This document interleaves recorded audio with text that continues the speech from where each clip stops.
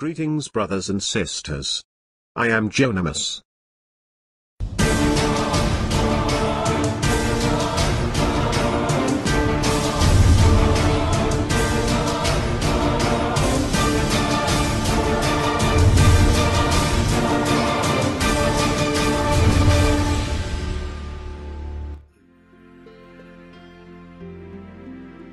Greetings brothers and sisters.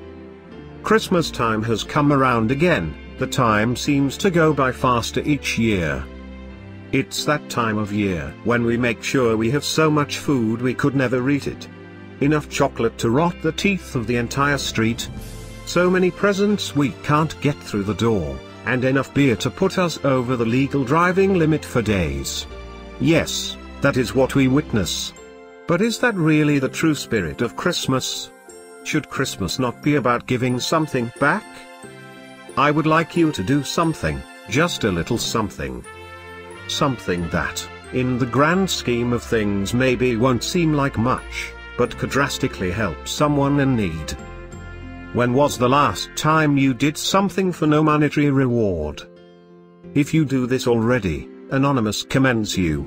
If you haven't yet, maybe now is the time to start.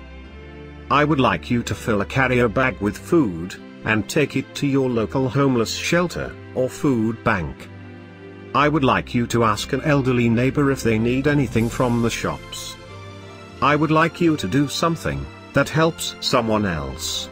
Little things really do mean a lot.